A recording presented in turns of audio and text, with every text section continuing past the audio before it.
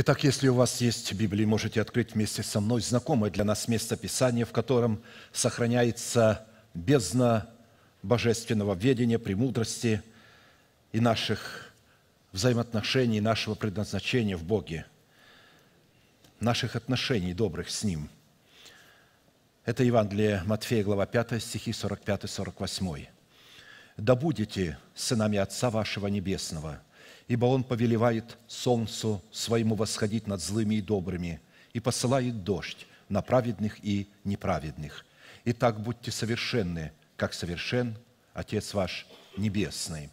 Проповедь, которую я хочу продолжить, так и называется «Призванные к совершенству». То есть, точно так же, как Бог светит своим солнцем на праведных и неправедных, и посылает свой дождь на праведных и неправедных. Мы призваны нашим солнцем светить на праведных и неправедных. Вы свет миру. Тогда светит свет ваш пред людьми, чтобы они увидели ваши добрые дела и прославили Отца вашего Небесного. Точно так же и дождь. Мы должны издеваться дождем на праведных и неправедных. И мы знаем, что Бог посылает свой дождь, свои облака, наполненные водою, чтобы они пролились дождем – для одних в наказание, а для других в помилование. То есть Бог, будучи святым, никогда не смирится с тем, чтобы одинаково любить и одинаково благословлять тех и других. Будучи святым по своей природе, то есть отделенным от зла, он по своей природе никогда не сможет любить зло и источник зла, а также тех людей, которые являются злыми и грешниками. Бог не любит грешника – Бог любит праведного человека. Вы нигде не увидите в Писании, что Бог любит грешника. Это проповедники вас обманывают, что Бог любит грешника. Бог не любит грешника. Бог не слышит молитву грешника. Бог любит праведного человека. Кто такой праведный человек? Это человек, рожденный от Бога. То есть, когда человек в своем сердце томится от греха, ненавидит грех – еще он не пришел к Богу, еще он его не знает, но он ненавидит грех. Это и говорит о том, что если я его не люблю, и я его не хочу, но оно владеет мною, это не говорит о том, что я грешник, это говорит о том, что я пленник греха, но я не грешник. Я пленник, и он пришел, чтобы пленить этот плен, и те, кто хотят вырваться из этого плена, возродить их, дать им новое начало – Поэтому Бог любит праведных людей и ненавидит людей неправедных. Невозможно ненавидеть зло абстрактно. Зло – это всего лишь программа. Она находится в людях, которые принимают это зло. Притом намеренно принимают это зло. Большинство людей сегодня, которые сидят в церквах и посещают церкви, так называемые, большинство этих людей – это люди, имеющие в себе программу зла, имеющие вид благочестия – а внутри программа зла. И только некоторые из них, небольшое малое стадо, которое поистине пытается полностью освободиться от ветхой натуры, которая внутри их. Поэтому в связи пути, ведущему нас к совершенству, мы стали с вами исследовать путь, ведущий нас к Богу, как к своему жениху в событии образа пути Ревеки к Исаку. И обратились к исследованию вопросов, представленных невесте Агнца, который представляет Ревека в достоинстве лилии долин, на которые мы призываемся смотреть очами веры или очами сердца, чтобы сформировать себя в образ совершенства, присущего нашему Небесному Отцу. Это закон, то, на что мы смотрим, мы трансформируемся в образ того, что мы видим и что смотрим. Поэтому наблюдайте, что вы смотрите. Вы выбираете сами объект того, на что вы будете смотреть на что вы будете смотреть, то и будет отождествляться. И приходя в собрание, пытаясь оторваться от этого, вы не сможете оторваться. У вас будут возникать образы того, на что вы смотрели. Но если вы образное мышление направите и будете смотреть на то, как процесс жизни протекает в лилии, невидимый вот этот процесс, чтобы посмотреть, как Бог это действует, чтобы вы расцвели точно так же, как лилия – потому что он себя называет лилией долин и свою невесту называет лилией долин. Роза Сарона – это одно из, а, то есть Это тоже лилия в Писании написано, а, один из его родов. Ну, и мы знаем, а, что для этой цели Ревека, чтобы последовать за Исаком, оставила свой народ, свой дом и свою прежнюю жизнь. Елизер представлен в Писании прообразом Святого Духа, сошедшего на учеников Господа в день празднования праздника Пятидесятницы, чтобы привести это малое стадо к совершенству во Христе Иисусе. И имя Елизер означает «Бог помощь», то есть как прообраз Духа Святого. Дух Святой будет нашим помощником. Бог послал его по ходатайству Иисуса как помощника. Это говорит о том, что мы ведущие, а Он будет нам помогать, когда мы будем выбирать волю Божию, Он нам будет помогать исполнять волю Божию. Когда мы будем выбирать свою волю, называя ее волей Божией, то Он будет отсутствовать. Мы сами вынуждены будем исполнять свою волю, которую мы назвали волей Божией. Или же нечистый дух под видом Святого Духа будет нам помогать. Но Дух Святой будет нам помогать только когда мы будем исполнять волю Божию и в границах воли э, Божией. Мы отметили, что в нашем случае празднование праздника Пятидесятницы – это не определенный день, не празднование определенного дня, а это обретение определенного состояния сердца, в котором мы принимаем Святого Духа не как высокочтимого гостя, а как Господа и Господина своей жизни, что позволит нам привязать себя к Святому Духу на условиях, установленных Писанием, чтобы быть водимыми Святым Духом Божиим. Ибо все водимые Духом Божиим суть Сыны Божии. Римлянам 8, 14. Разумеется, младенец во Христе, принимая Святого Духа, не может принять его как Господина, потому что его Господином на самом деле пока еще является его ветхая природа. А тот, кто господствует над нами, тот и наш муж – до тех пор, пока ветхая природа не будет упразднена крестом Господа Иисуса Христа, наш муж будет господствовать над нами. И пытаться иметь отношения со Христом при наличии вот этого ветхого человека, живого, который является нашим мужем, означает прелюбодействовать. Нам необходимо умереть для этого ветхого человека в смерти Господа Иисуса Христа – а иначе мы не сможем водиться Святым Духом. Он не может быть господином одновременно вместе с тем мужем. То есть он не может быть нашим мужем до тех пор, пока живой другой муж.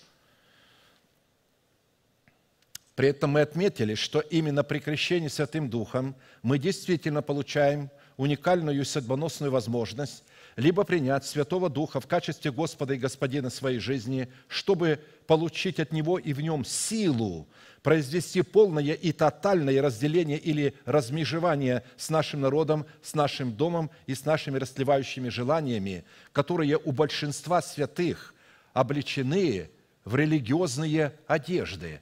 Поэтому их сложно распознать, этого ветхого человека – это волчина, ветхая природа, оделась в природу овцы. И мы всегда хотим ее видеть где-то на стороне, это он, это она, а на самом деле это наша ветхая натура. Когда мы освободимся от нашей ветхой натуры, тогда нечестивые люди снаружи никак не смогут побеждать нас и воздействовать на нас. Но до тех пор, пока у нас есть ветхая натура, нечестивые люди будут доставать нас – Поэтому, чтобы во Святом Духе, через Святого Духа, приняв Его как Господа и Господина своей жизни, приносить Богу плод правды в предмете благочестивой жизни, несущей в себе силу воскресения Христова. Либо, конечно, когда мы Его принимаем, принять Святого Духа в качестве дорогого гостя, что проповедуется почти во всех церквах и поется «Дух Святой, Ты гость небесный, вот приди к нам», он приглашается каждый раз на каждом новом богослужении. То есть мы просто благодарим Бога, что Он здесь, и призываем, чтобы Он явил силу свою. Мы приходим с Ним, Он живет в нас. Мало того, Он находится на этом месте. Когда мы оставляем, Он остается здесь и одновременно с нами. Он Бог вездесущий. И когда мы приходим на это место, нам не надо говорить, Господи, приди сегодня к нам. Он с нами, и Он в нас. Но когда люди говорят, Он с нами и Он в нас, а потом говорят, Господи, мы призываем Тебя, приди, а потом, уходя, ничего не говорят Ему. А теперь как? Со мной пойдешь или останешься там? Но Бог не будет на этом месте пребывать как гость. Как гость он бывает мало. Он пришел, переночевал и ушел. Он сказал, Елизер, нет, я немедленно должен уйти.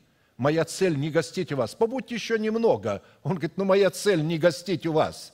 Моя цель только прийти и выбрать ту, которая будет женою господина моего Авраама для Исаака. И когда она была выбрана, и она показала, кто она такая, во-первых, она должна быть девственницей. То есть, во-вторых, она должна напоить 10 верблюдов. То есть, она должна исполнить закон. Во Христе Иисусе мы исполняем закон, святость Божию. Вы скажете, нет, нет, во Христе Иисусе мы не повинны пред законом потому что мы принимаем в нем праведность, и находясь в нем, мы непорочны пред законом. Закон имеет отношение к грешникам, но к праведным он не имеет отношения. Поэтому закон – это наш друг, когда мы праведные, и закон наш враг, когда мы грешники. Но мы не грешники, мы родились от святого Бога, и мы праведные. Поэтому очень важно понимать эту вещь.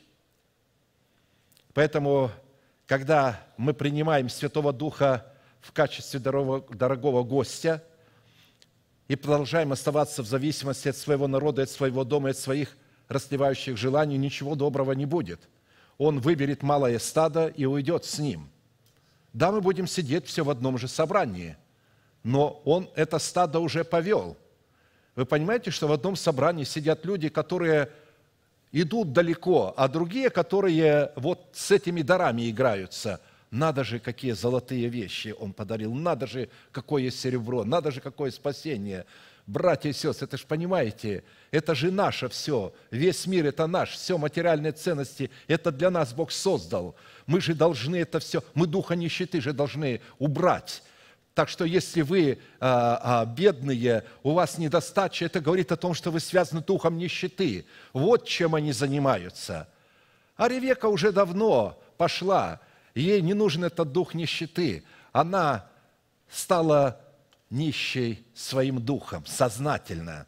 Она потеряла все, чтобы быть нищей, чтобы заботиться только о том, чтобы искать Господа. Она показывает ему, я обнищала, у меня нет ничего, я потеряла все ради Тебя, чтобы Ты стал моим Господом. У меня больше нет моего народа, нет моего дома и нет моих друзей. Точно так же, как младший сын в притче об этих двух сыновьях, он потерял все. В смерти Господа Иисуса ушел в дальнюю страну со своими друзьями. Отец разделил имение и тому, и другому дал, и старшему, и младшему – Младший пошел и пустил в оборот это имение, растерял своих друзей. Как пустить в оборот – это умереть в смерти Господа Иисуса Христа для своего народа, для своего дома и для своих расливающих желаний. И теперь он умер для этого растления, для этих друзей, и возвратился уже без них, оборванный, и с благодарным сердцем, готов благодарить Отца, если просто Он его примет – в число наемников. А тот тоже имеет своих друзей и никуда не уходил. Он облегся в одежды вот эти вот религиозные. Никуда не уходил, он на полях евангелизации, приходит с поля усталый и вдруг видит радость. Отец заколол теленка, для него еще козленка не заколол. Мало того, перстень дал, а у него и перстня нет. Одежды дал, а ему и одежды не давал никогда, и обуви не давал – то есть, как же ты, друг, пошел на евангелиционное поле без одежд, без перстня и без обуви на ногах? Ведь обувь на ногах – это свет мира. Обувши ноги – готовность свидетельствовать о Христе, о Господе, о свете. Сколько сегодня миссионеров пошли на это поле, не будучи светом для мира, потому что они сами себя послали или другой человек их послал – не Господний человек. Очень важно. знать, что человек не наученный, как принять Святого Духа, как Господа и Господина своей жизни, сам по себе никогда не сможет привязать себя к Святому Духу, а следовательно, никогда не сможет водиться Святым Духом или же следовать за Ним к совершенству во Христе Иисусе, в силу чего навсегда утратит свое сыновство, выраженное в спасении, которое было дано ему в формате залога. Мы раз обращали внимание на то, что, исходя из утверждений Писания, можно говорить на иных языках и не иметь никакого недостатка в духовных дарованиях, но в то же самое время оставаться человеком душевным, не имеющим духа. Он пришел, дал дары и ушел. Дал способность нашему духу говорить за Богом на языке ином, но иной язык, а не Святой Дух. Это дар Святого Духа. И люди, говорящие на иных языках, полагают, что они – а, а, имеют Святого Духа только потому, что говорят на иных языках. Нет.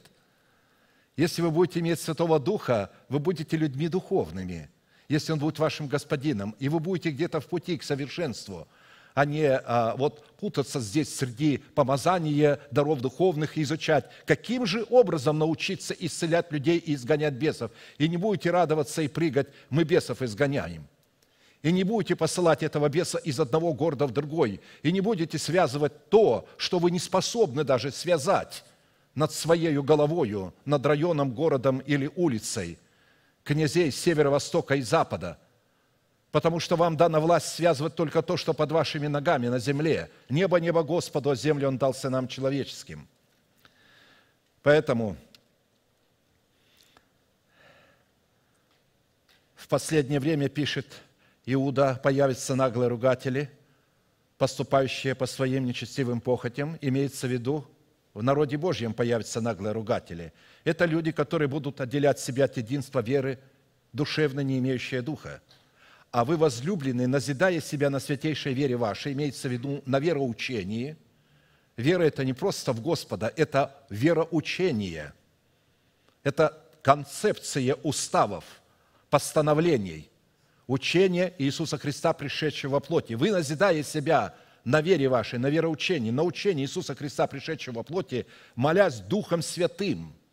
Когда говорится «молясь Духом Святым», не имеется в виду на ином языке только, иной язык туда включается, но имеется в виду «молясь с Духом Святым» в оригинале – Сей самый Дух свидетельствует с Духом нашим, что мы дети Божии, а свидетельство двух истина.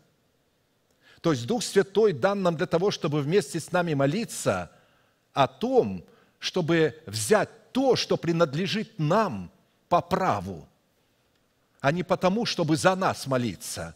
Он молится вместе с нами, за нас, но вместе с нами. И потому, молясь с Духом Святым, сохраняйте себя в любви Божией – ожидая милости от Господа нашего Иисуса Христа для вечной жизни. Иуда 1, 18, 21. Ожидая. Некоторые думают, что если они в таком положении, не все время это и будут иметь. Нет, ожидая, это значит, мы будем находиться в определенных трудностях, в определенных скорбях, будем испытывать определенные утраты, и мы должны ожидать милости, уповая на Господа. А посему говорение на иных языках и упражнение даров духовных – это действительно духовное переживание, но оно не призвано делать нас духовными. И оно не призвано изменять наш характер, унаследованный от греховной жизни наших отцов в характер Христов.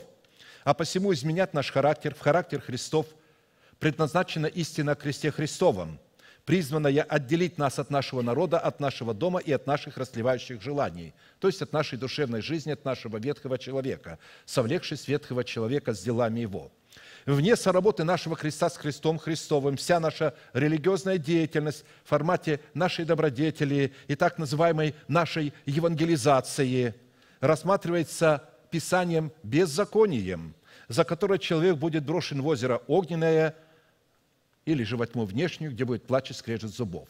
В определенном формате мы с вами уже рассмотрели, в чем состоит и чем отличается суть нашего креста от креста Христова – потому что это абсолютно разные вещи. У креста был свой крест, каждому из нас дается свой крест. А также на основании каких принципов наш крест призванный может сработать с крестом Христовым. И остановились на исследовании следующего вопроса, по каким же признакам нам следует определять, что наш крест действительно сработает с крестом Христовым, а не с какой-то фальшивкой или подлогом. И такими признаками в нашем сердце, которыми мы стали тщательно исследовать, призваны являться плоды воскресения в нашем сердце, в плодах дерева жизни, 12 раз приносящего плоды правды, дающими на каждый месяц плод свой, обуславливающий в нас порядок Царства Небесное или же Царство Небесное. Ключом же, открывающим путь к древу жизни в нашем сердце, представлен образ 12 жемчужных ворот, которые выражают наше пребывание со Христом в Его напастях, потому что жемчуг – это результат страдания моллюски, которая обволакивает эту песчинку, которой, от которой она не может избавиться. Она обволакивает его, вырабатывая перламутр. Вот этот перламутр – вот эта реакция на своего ветхого человека, доставляющего нам неприятность постоянную. И вот эта реакция, где мы не признаем его, не признаем вот этих желаний, не исполняем их, а враг постоянно клевещет, посмотри, что у тебя живет. Ты же греха хочешь, ты же разврата хочешь. Посмотри, ты завидуешь, ты, ты же завидуешь, посмотри. А вы говорите, это не я, я не завидую, я против этой зависти, я против этого разврата. Это ветхая природа, а я и ветхая природа – это две разные вещи, это не я. Но сатана все время говорит, нет, это ты. А мы все время должны говорить, нет, это не мы. Я – это новый человек, рожденный от Бога, в котором нет желания разврата и в котором нет зависти, который радуется успеху ближнего – а не завидует успеху ближнего. И поэтому он не признает, дабы упразднено было тело греховное, чтобы нам не быть рабами греху. Упразднено – это значит снято с должности. Да, оно есть, но оно не управляет. Я больше не верю ему. Я больше не верю дьяволу. Да, вот есть музыкальный инструмент. На этом музыкальном инструменте может играть кто угодно. Может играть дьявол, может играть Господь. Кому мы отдадим этот музыкальный инструмент? Кому мы отдадим свою душу? Когда мы отдаем его в смерти Господа Иисуса Христа через крест, погружаем ее в смерть, и когда мы воскресаем со Христом, то наша душа изменяется. И теперь на ней дьявол уже не имеет права играть. Она теперь ему не принадлежит, она теперь собственность Господа. Но до того, до тех пор, пока наша душа не умрет, пока мы не возьмем свой крест и не последуем за ним, и не умрем, наша душа не является еще собственностью Господа. Она является просто в программе. Бог имеет в виду, Он заплатил за нее, но мы должны спасти свою душу, соработать своим крестом с крестом Христовым.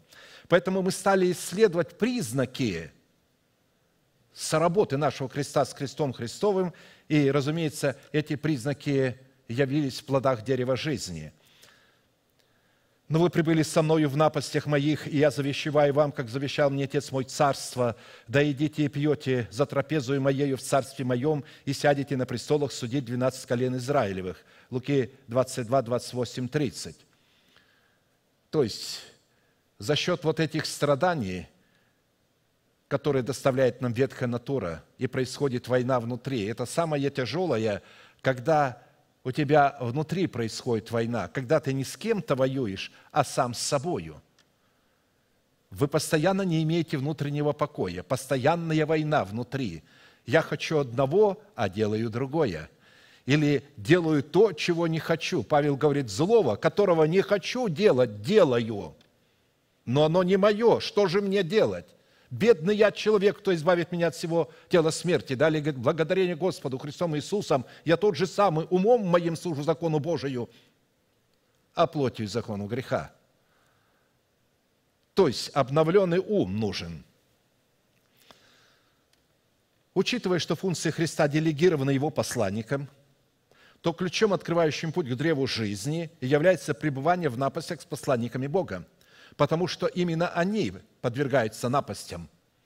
Они стоят во главе, и весь удар сатана наносит по ним. И когда мы остаемся с ними и пребываем в тех же напастях, которые приходят на них, и очерняют их нравственное достоинство, говорят о том, что они воры. Вот Павел говорит, на, на нас говорят, что мы обманщики, но мы не обманщики.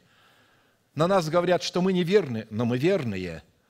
То есть говорят, что мы в каких-то беззакониях, в какой-то ереси, но мы, говорит, держим оружие в правой и левой руке и не повреждаем Слово Божье, как многие, и так далее – а посему Царство Небесное, выраженное в наследии жизни вечной, представлено в едеме нашего сердца в образе дерева жизни, 12 раз приносящего плоды, дающего на каждый месяц плод свой и листья дерева для исцеления народов. И мы знаем, что это притча, это аллегория, это иносказание в Откровении, то есть это также есть а, у пророка Иезекиилия, он говорит об этом древе жизни. Об этом же древе жизни говорит Давид, когда он говорит – что человек, который не ходит на совет нечестивых и не сидит в собрании развратителей, но у которого в законе Господа воля Бога его, он будет посажен как дерево у потоках вод, лист которого не вянет, и во всем, что он не делает, успеет. Это Давид говорил тоже об этом же дереве жизни. Так что у него было познание этого, и он был этим древом жизни пред Господом как для самого себя, так и для окружающих его. Он был светильник Израиля – Бог хочет, чтобы мы были светильниками среди воинов молитвы. Мы отметили, что 12 месяцев священного года, в которых дерево жизни давало на каждый месяц плод свой, это плоды воскресения или плоды правды, суть которых мы стали рассматривать в праздниках иудейских и в событиях, которые выпадали на каждый месяц священного года. Как написано, закон имел тень будущих благ, а не самый образ вещей. Евреям 10.1. То есть мы должны в законе увидеть, взять вот эти тени, это тень будущих благ, и, и увидеть нечто в них. Поэтому мы будем брать вот эти праздники, эти праздники должны стать плодом. Мы должны выработать, не праздновать один раз в году воскресенье, а наше сердце должно быть обличено в плод воскресения, чтобы это было каждодневное, ежеминутное, ежесекундное состояние воскресения, носить в себе воскресение – Поэтому мы не раз отмечали, что полное определение Царства Небесного в значении священного года, содержащего в себе 12 месяцев, определяет порядок Царства Небесного в 12 учениях Иисуса Христа, пришедшего во плоти. А посему священный год, в котором древо жизни приносит в каждый из 12 месяцев плод свой, никоим образом не связан с трехмерным измерением времени обыкновенного года, обусловленного 12 месяцами. На иврите смысл года содержит в себе величие искупления Божие, распространяющегося на всю вечность. А посему священный год, включающий в себя 12 священных месяцев, следует рассматривать в измерении духа, обусловленного четвертым измерением. В силу такого содержания образ священного года, представляющий образ Царства Небесного во времени, не только не зависит от времени, но и господствует над временем – в определенном формате мы с вами уже рассмотрели плод нашего духа, представленный в образе плодов дерева жизни, принесенных в первые новые три месяца священного года, и остановились на рассматривании плода нашего духа в плоде дерева жизни нового четвертого месяца по имени Тамуз, который мы призваны принести Богу, чтобы отвечать эталону совершенства, присущего нашему Небесному Отцу – мы знаем, что в Израиле в 17-й день 4 месяца Тамуза соблюдался пост память о разбитии Моисеем скрижали завета. В Израиле дни поста считались демонстрациями печали, в которых человек томил душу свою и во время молитвы подстилал под себя рубище и пепел, чтобы показать пред Богом скорбь и смирение своей души. В четвертом месяце также жители горных областей приступали к жатве пшеницы. Начиналось созревание первого винограда – которое совпадало с наступлением летней жары. На практике мы отметили, всякий праздник сопровождался каким-то видом жатвы или являлся жатвой какого-либо посева. Мы отметили, что образ события сорокового дня, в которое исполнялось очищение, которое было ознаменовано разбитием скрижали завета, Моисей пробыл 40 а, дней с Богом, и вот на этих каменных стрижалях, которые вытесал Бог и написал слова, Он их разбил на сороковой день, когда Он сходил. Это образ истребления учением Христовым, бывшего о нас рукописания, которое было против нас. Мы знаем, что скрижали завета – это был образ Христа. Разбитие – это смерть Христа. Потому что Христос олицетворяет Слово Божие – Колоссянам 2, 11, 15. «В нем, то есть во Христе, вы и обрезаны обрезанием нерукотворным, совлечением греховного тела плоти, обрезанием Христовым, быв погребены с Ним в крещении, в Нем вы и совоскресли верою в силу Бога, который воскресил Его из мертвых. И вас, которые были мертвы в грехах и в необрезании плоти вашей, оживил вместе с Ним, простив нам все грехи, истребив учением бывшее о нас рукописание, которое было против нас». То есть вот эти скрижали завета первые, которые написал сам Бог. И он взял его от среды и пригвоздил ко кресту, отняв тем самым силу у начальства властей, властно подверг их позору, восторжествовав над ними собой. И мы знаем, что Моисей был прообразом Иисуса Христа, который умер за народ, точно так же, как умер Христос, и который воскрес по Писанию на третий день, так же, как и воскрес Христос. То есть, если бы вы скажете, откуда ты знаешь, что Моисей воскрес? А потому что о его теле спорили архангел Михаил и дьявол. Произошел спор. Тот хотел, чтобы тело осталось мертвым, как все тела. Но если уже Бог послал Михаила Архангела спор, и он вошел в этот спор, отвоевать это тело, он его отвоевал. Моисей по образу Христа, так как он был его образом, должен был умереть за грех народа и должен был воскреснуть. Поэтому на горе преображения, гора Фавор, явились Христу два человека, которые находятся в новых телах – Илья и Моисей. Илья в новом теле был вознесен. Его тело изменилось а Моисей воскрес и тоже в новом теле был вознесен Господу. Вот они-то и пришли Христу, чтобы показать, как на основании закона, псалмов и пророков он должен умереть и воскреснуть. Это очень важно. Итак, если человек не принесет плод нового четвертого месяца, выраженный в разбитых скрижалях завета, что он во Христе Иисусе с законом Моисея умер для закона Моисея, чтобы в новых скрижалях завета жить для Бога и жить Богом, то он навсегда утратит свое спасение, которое он получил в формате залога. Галатам 2, 19, 20.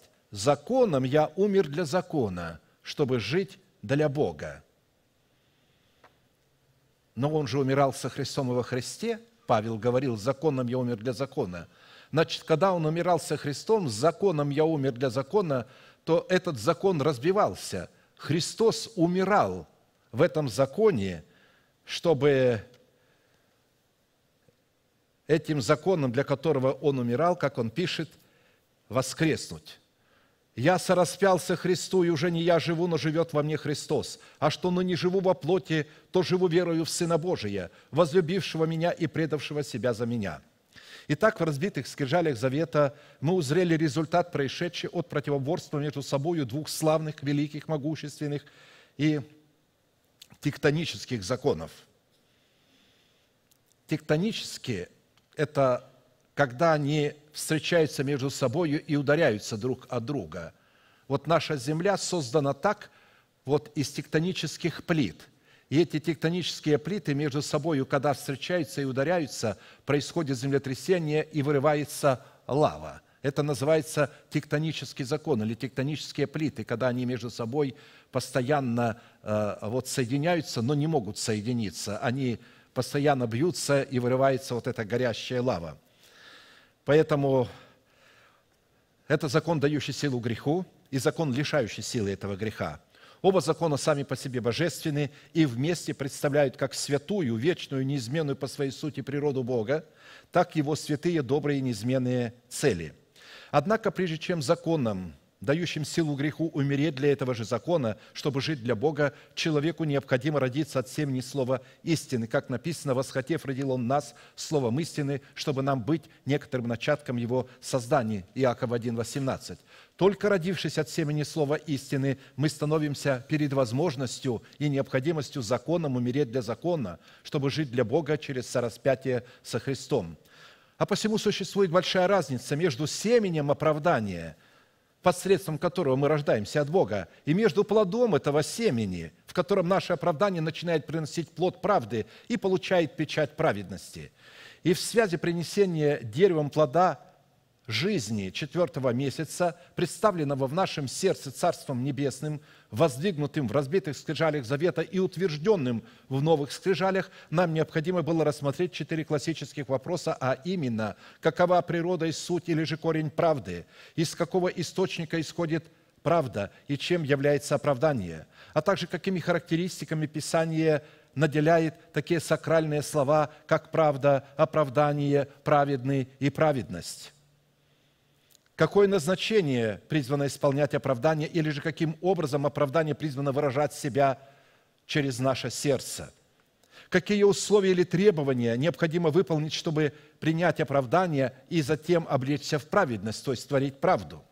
По каким результатам следует судить, что мы обладаем в своем духе древом жизни, приносящим плод четвертого месяца, обусловленного плодом правды – Далее мы отметили, что этимология таких трансцендентных и священных слов, как правда, оправдание, праведный и праведность, на иврите содержит весьма богатую многофункциональными и многозначными оттенками семантику, так как в своем итоге эти слова являются откровением того, кем для нас является Бог, что сделал для нас Бог и что надлежит сделать нам, чтобы наследовать все то, что сделал для нас Бог. На иврите правда по отношению к Богу, правда Божия – это святость Бога, это закон Бога, это завет Бога, это оправдание Божие. Это праведность, законность и справедливость. Правда – это заповедь, это устав и постановление. Правда Бога – это суд Бога, Его правосудие и Его справедливость. Правда Бога – это прямота, верность, истинность. Это постоянство, продолжительность, непреложность, истинность, истина – Правда Божия – это премудрость, это свет жизни, это честность, искренность, чистота. Правда Божия – это воскресение жизни, это свобода Христова. А вот оправдание, которое мы получаем от этой праведности Божией, это вечное искупление, это выкуп из плена греха и смерти, это упразднение нашей вины или невменение нам греха – не вменяя людям преступлений их и дал нам слово примирения. Это взятие нас в собственность или в свой удел.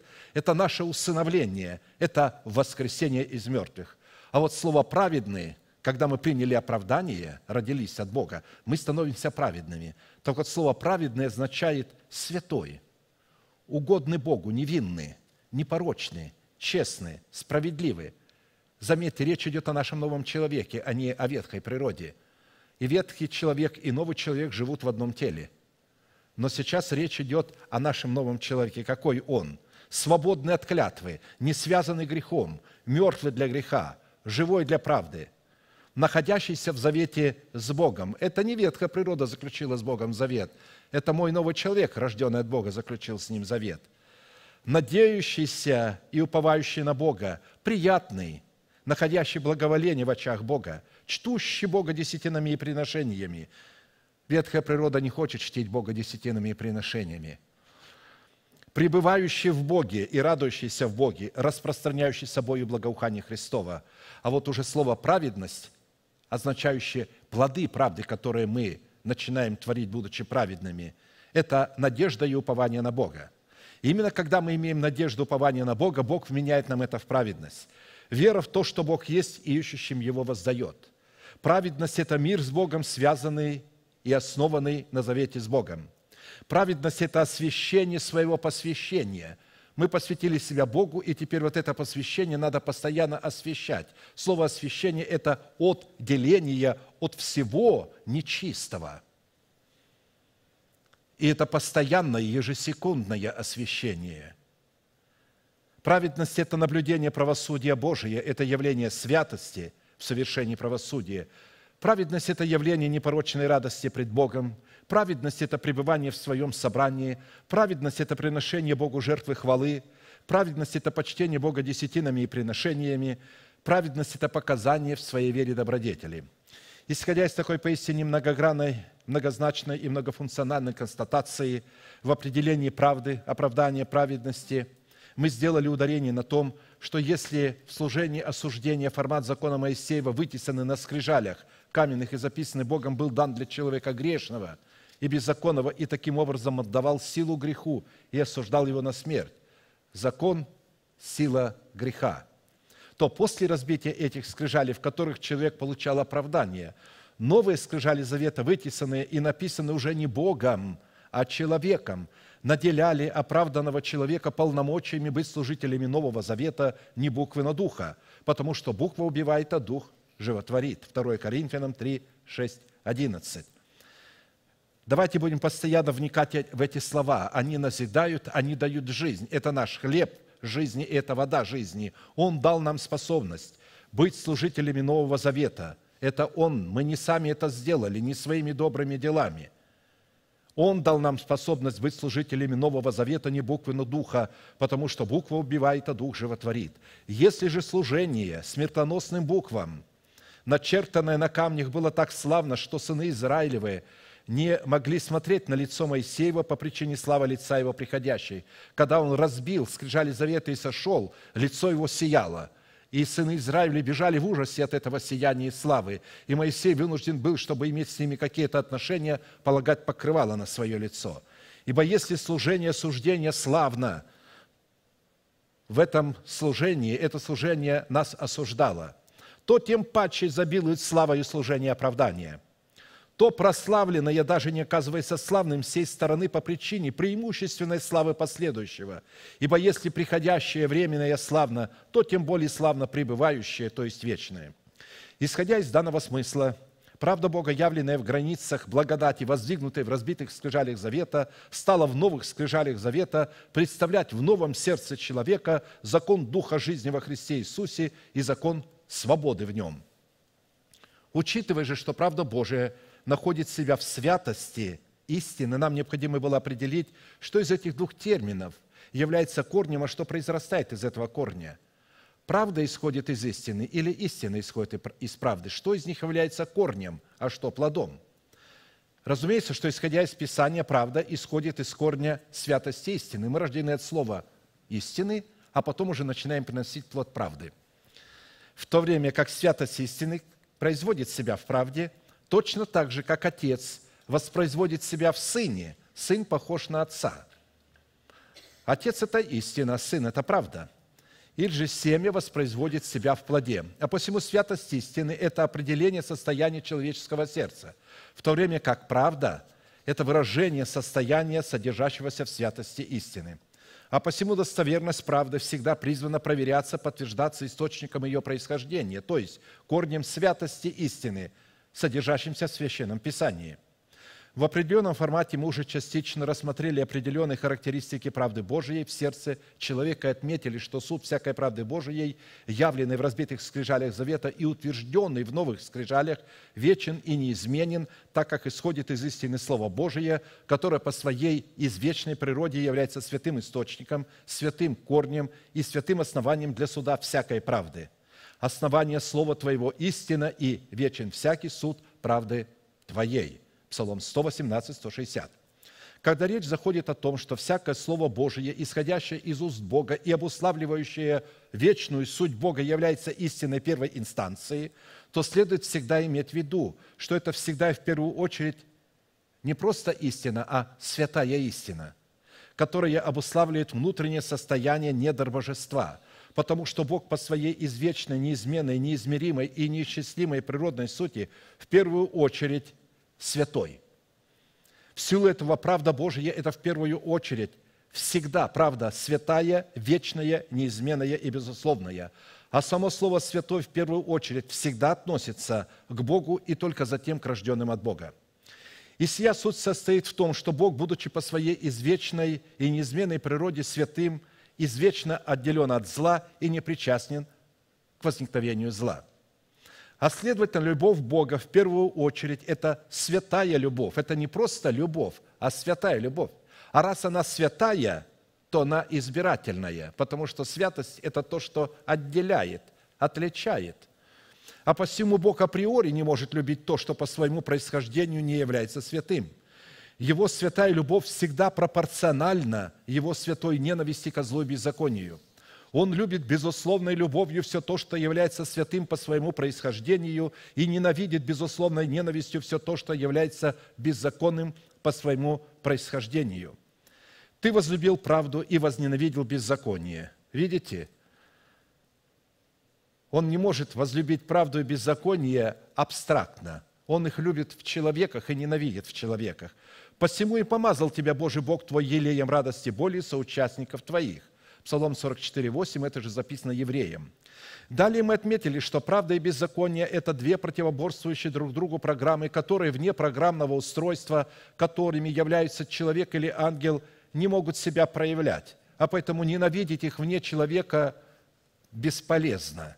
Всегда, когда речь идет о беззаконии или о праведности, всегда имейте в виду, что они проявляются только в человеках или в ангелах. Поэтому Бог изначально возлюбил свою святую правду в человеках и ангелах и изначально возненавидел чуждо ему беззаконие в человеках и ангелах, вместе с этими человеками и ангелами. А следовательно, носители беззакония, как ангелы, так и человеки, не сохранившие своего достоинства и не принявшие любви истины и осквернившие свое святилище, оставили свое собрание. Они являются сосудами палящего и все испепеляющего гнева Божия –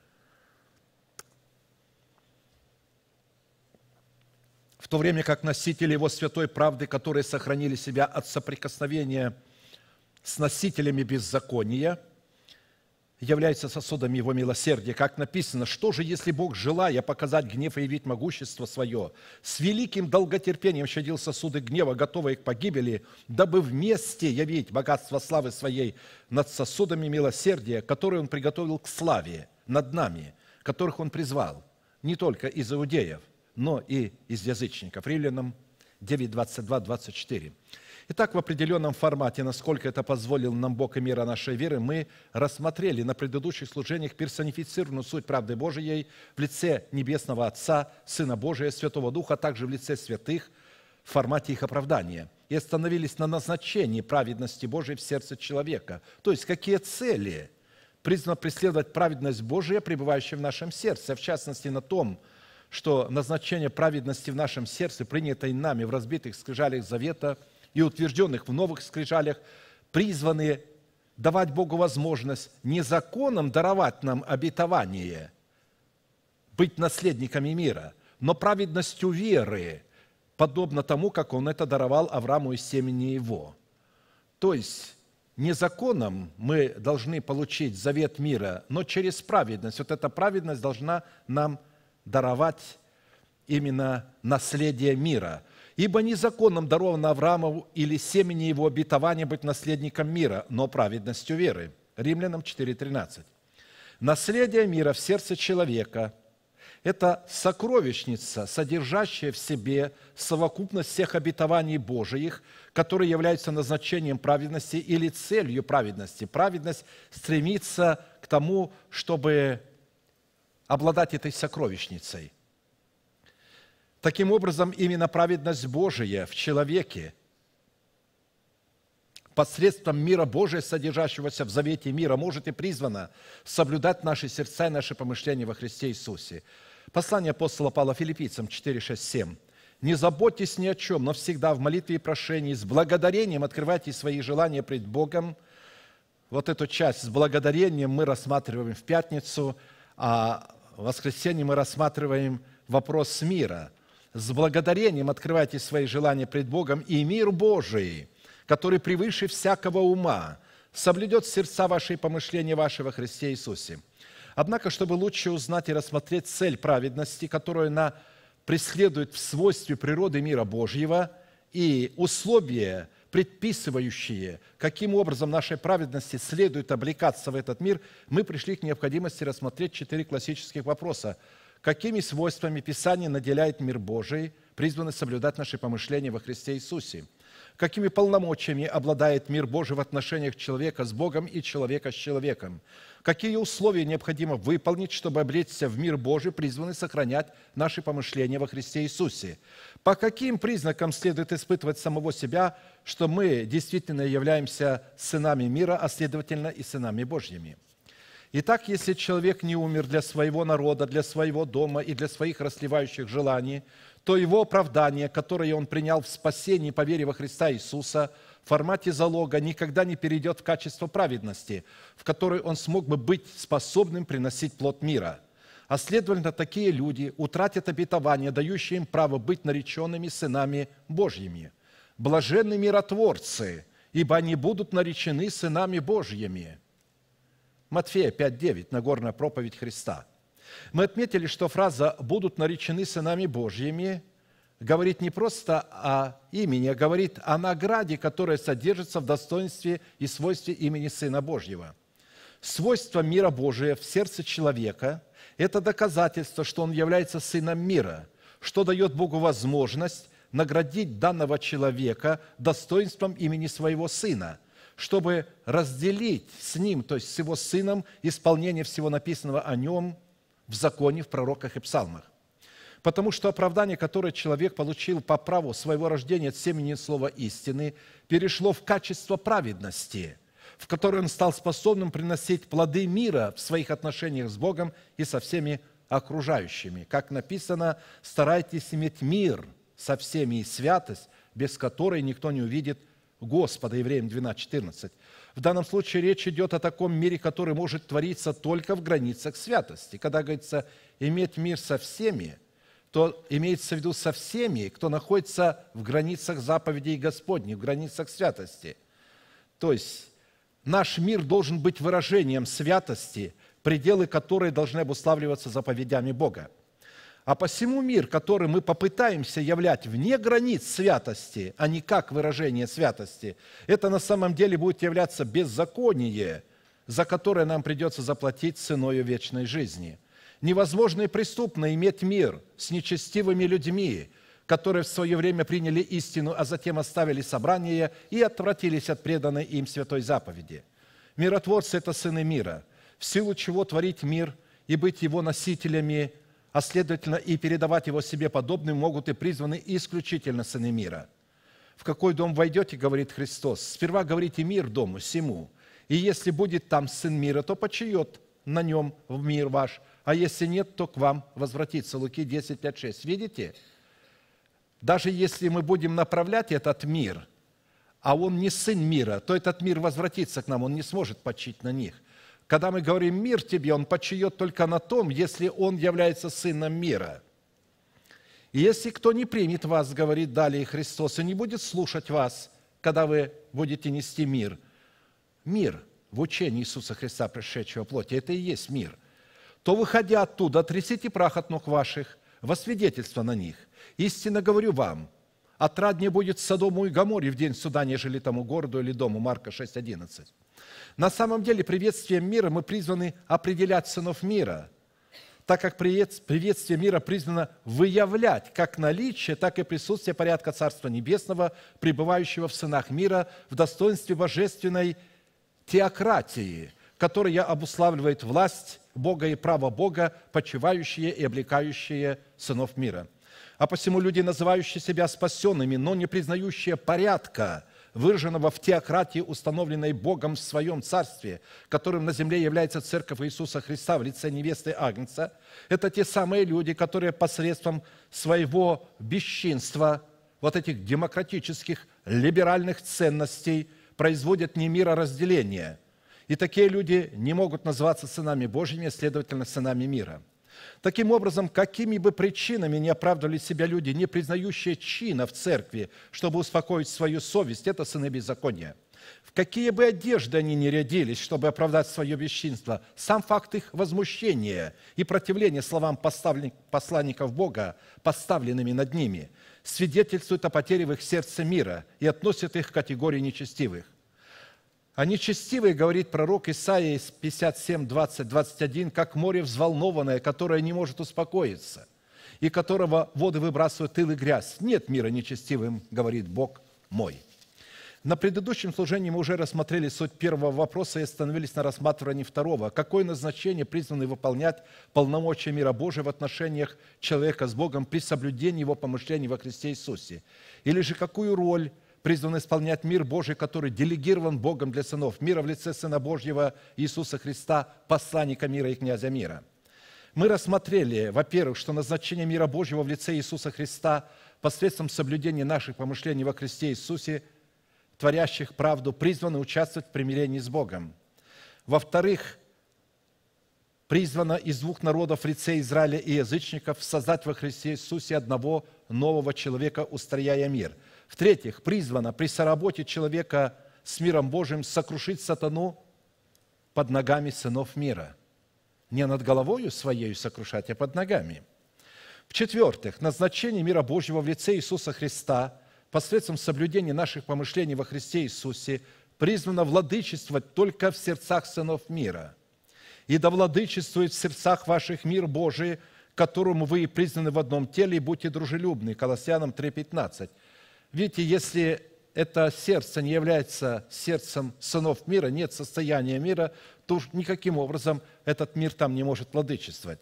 Поэтому смысл исполнительной фразы «и да владычествует», которой Бог сотворил и содержит небо и землю, поставлен в зависимость от нашего решения – позволит миру Божьему владычествовать во взаимоотношениях с Богом, а также друг с другом. Нам следует усвоить, что владычество мира Божьего ограничено сердцем человека – каким сердцем? Которое является сыном мира, который обусловлен в его сердце Царством Небесным. А посему из имеющегося повеления мы можем вынести следующее, что владычество мира в наших сердцах – это сознательный и ежедневный выбор в совершении подвига веры, состоящего в том, чтобы не сходить друг к другу в немощах наших и прощать друг друга, как и Бог простил нас во Христе – Именно дружелюбие в отношениях с сынами мира дает возможность миру Божьему владычествовать в наших сердцах. Только потому окружающие узнают, что мы ученики Господа, если мы будем любить друг друга, снисходить друг другу в немощах наших. Если же наше дружелюбие, выраженное в мире обусловленным учением Иисуса Христа, пришедшего во плоти, будет отвергаться, то нам, по словам Христа, следует предавать таких людей заклятию – отрясти прах, приливший к, них, к их ног, нашим ногам, и разорвать с такими людьми всякое отношение. И сказал Иисус ученикам Своим, «Если где войдете в дом, оставайтесь в нем, доколе не выйдете из того места. И если кто не примет вас и не будет слушать вас, то, выходя оттуда, трясите прах от ног ваших во свидетельство на них. Истинно говорю вам, отраднее будет Содому и Гаморе в день суда, нежели тому городу». Марка 6, 10, 11. Если мы откажемся выполнять данное повеление – и сохраним мирные отношения с людьми, отвергающими наш мир в учении Иисуса Христа, пришедшего во плоти, то так, когда Бог посетит нас, мы вынуждены будем разделить судьбу не с сынами мира, а горькую судьбу с сынами противления. Кто не со мною, тот против меня, и кто не собирает со мною, тот расточает. Матфея 12:30. Христос делегировал свое посланничество, свое помазание, свои полномочия – своим ученикам. Как послал меня Отец, так и я посылаю вас. Те, в свою очередь, точно так же делегировали других людей. Не церковь выбирала, а апостолы выбирали для них. И апостолы являлись этими людьми. Поэтому кто не собирает с посланниками Бога, тот против них, и тот расточает – в-пятых, назначение мира Божьего в лице Иисуса Христа посредством соблюдения наших помышлений во Христе Иисусе призвано силою Святого Духа обогатить нас надеждою. Это мы говорим о назначении праведности, что она стремится иметь в мире Божием. Римлянам 15, 13. «Бог же надежды, да исполнит вас всякой радости и мира в вере, дабы вы силою Духа Святого обогатились надеждою». Мира в вере – радости мира должны проявляться в вероучении, в вере, то есть в праведности.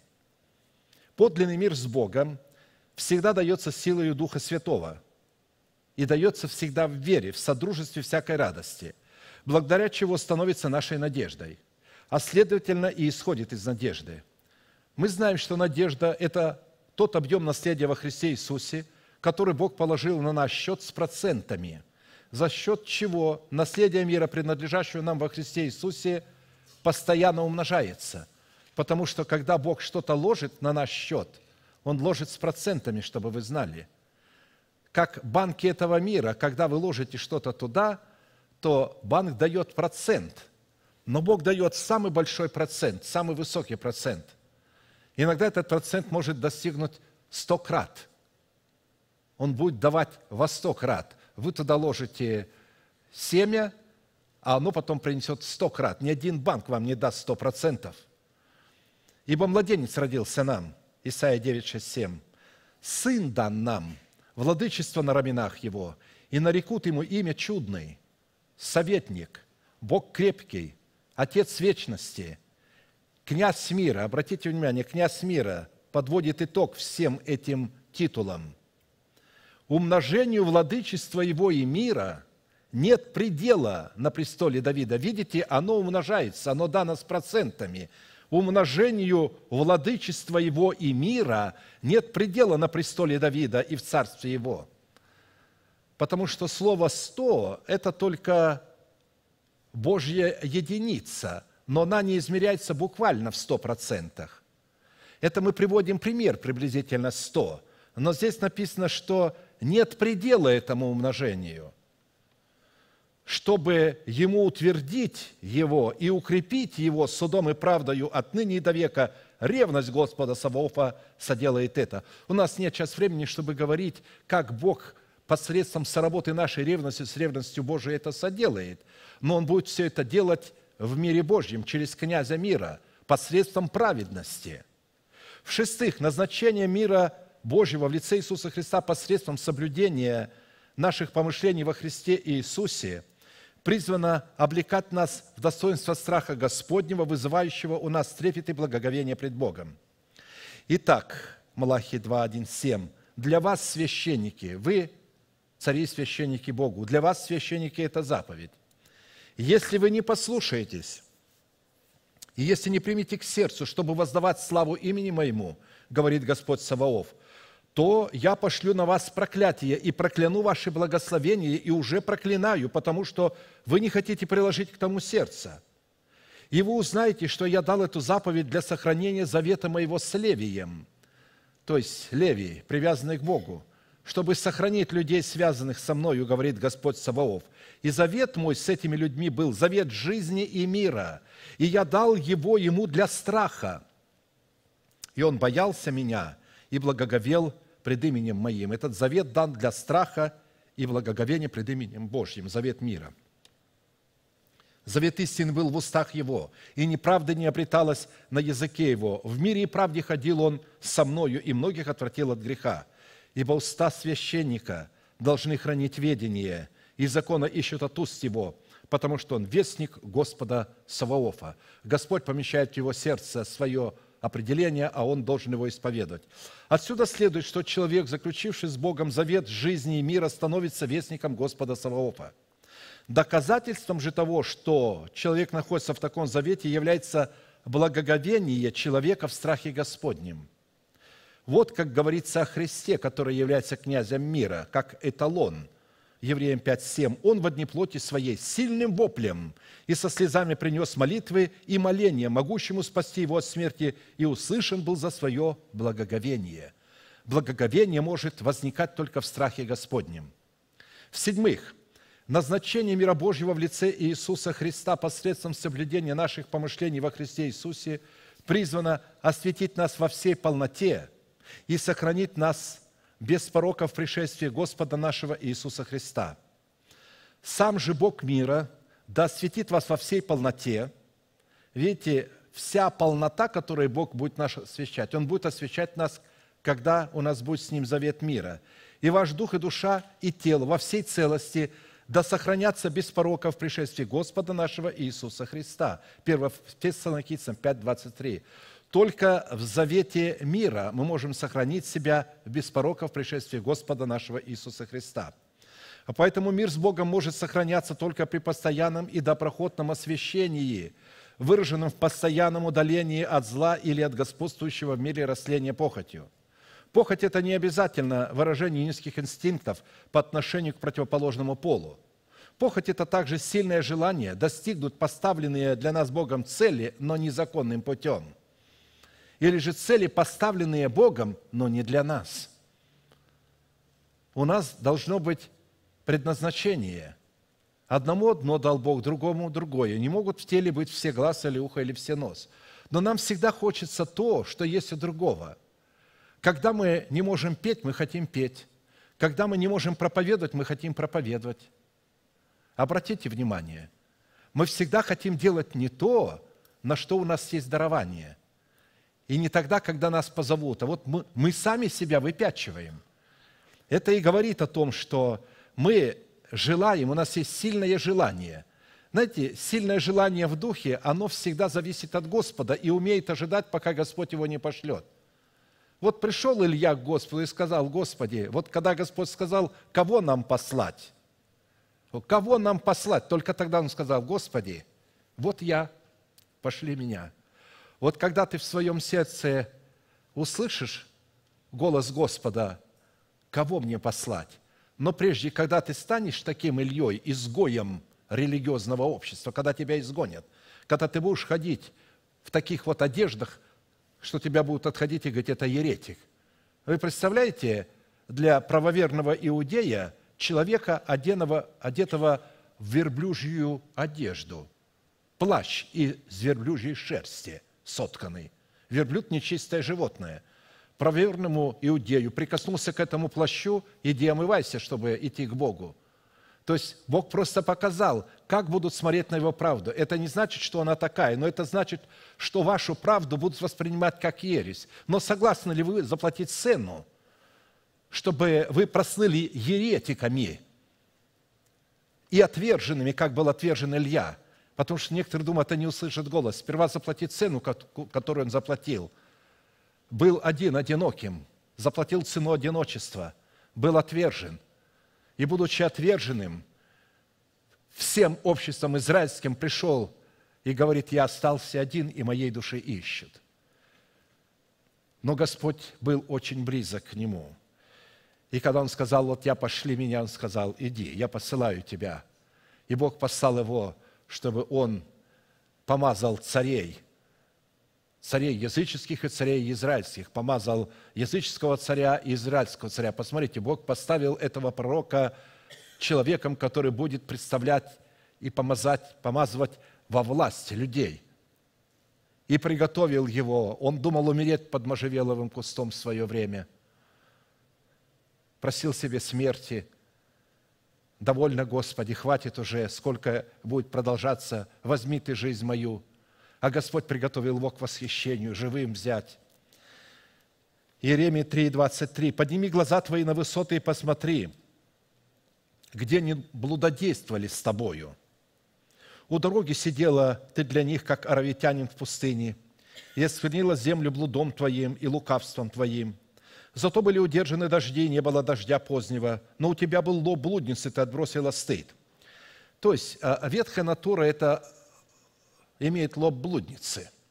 Не упразднив ветхого человека, не сняв его с себя, она пытается иметь отношения одновременно и с Богом – Учитывая это, она идет, садится на дороге там, где проходят все, включает телевизор, идет в интернет и слушает всех подряд, всех проповедников, совершенно не соображая, кого Бог поставил над ним или над ней. Вам нужен только один человек, которого Бог поставил над вами. Вам, в общем-то, не нужно слушать. Вы можете послушать, но с тем, понимая, что они не те люди, которых Он поставил над вами – и не их слова и не их определения должны определять ваше вероучение. Ваше вероучение должно определяться только тем человеком, которого Бог поставил над вами. Если Бог поставил над вами апостола Петра, вы должны исходить от Петра, а не от Павла, и от, не от Иуды, и не от Иоанна. То, что и тот говорит правду, и тот говорит правду – но у них разное абсолютно назначение. Проповедь, интересно, была разная. Она очень хорошая. Бог объединил это все. Но Он показал, Павел сказал, у вас немного отцов, я родил вас. Он обращался к общинам, которые его в глаза не видели. Он говорил, я вас родил, потому что посланники его, которые проповедовали те откровения, которые Бог дал ему, они были поливающими от имени его. Они говорили, то семя, которое Бог насадил в нем, они его передавали – Восьмых, назначение мира Божьего в лице Иисуса Христа посредством соблюдения наших помышлений во Христе Иисусе призвано сделать нас способными являть благодать Господа Иисуса только добрым и правым в сердцах своих. Не всем подряд, а только добрым и правым в сердцах своих. Псалом 124, 4, 5.